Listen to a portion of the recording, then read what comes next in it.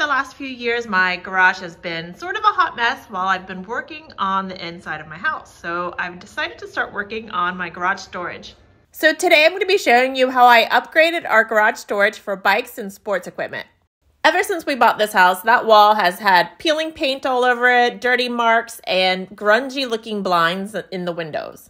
So I started by removing everything from this wall in the garage. I scraped off the peeling paint and I applied a primer so that the new paint would stick a lot better to that drywall. Then for the lower half of the wall, I installed beadboard paneling with shiplap along the top and bottom. I wanted that extra wood there just so that it would strengthen whatever I attached to the walls and protect the wall from damage when things are bumped up against it. Painting the lower half of that wall gray adds a little bit of extra style, but also the gray hides more dirt. So it's practical in a few different ways. If you don't want to install wood in your garage though, you could get the same effect by just painting the lower half of your garage gray. Once I was finished with all of the painting and the wood filler that I used on that beadboard, I was ready to start installing some storage options for the bikes in my garage. For my husband's road bike, we went with a wall mounted bike rack. He wanted to be able to have that bike up off the ground while he worked on the gears, the wheels, whatever he does on his road bike. This was just way more convenient and easier for him. You can find these in stores or online for between 20 and $40 generally. It's super convenient if you only have one or two bikes to store. But for more bikes like we need for our family, we do need some other options. I'll show you those in a minute.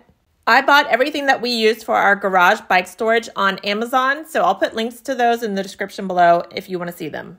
So in addition to needing garage storage for our bikes, I also wanted to be able to store all of the kids' sports equipment in one place, all together, so that it's really organized and it's a separate area for my woodworking and tools. I spent a couple hours comparing different garage storage options for bikes and sports equipment. And I ended up liking um, two things from a company called BirdRock. They were highly rated, they look really nice, and the price was pretty good. So I went for those two items.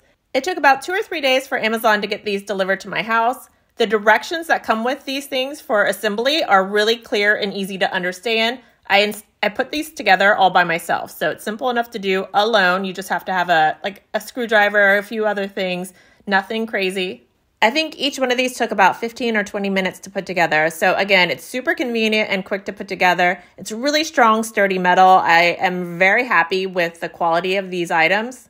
Another thing I really like about these two pieces from BirdRock is that they're nice and wide. They're not small garage storage options. So some of them are made for tight spaces. These were wide. They're going to hold a lot of things for us. The storage rack on the left is 17 inches deep almost. 31 inches wide and 43 inches high. That four bike rack is 21 inches deep, 47 inches wide, and 41 inches high. So tons of great storage. Here's a closer look at that bike storage rack with three bikes in it.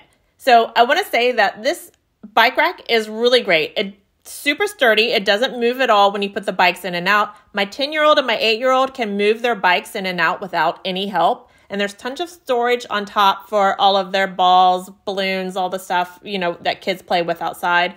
Both the bike rack storage and the other the sporting equipment storage come with hooks on the side too. So I've got jump ropes hanging on the side. I've got our baseball bats and little tee on the side of it. There's tons of room here for our sports equipment storage now. Like I said earlier, I like how the beadboard is tougher than just the drywall that was there before. So anybody can bang up against this and it's not going to damage it the way it does with drywall. You can see here how there's tons of deep storage for all of your soccer balls, your basketballs, anything that you need for your kids. My husband's bike equipment is all lined up here. There's shelves for the helmets or any other sports equipment that you want to store in your garage.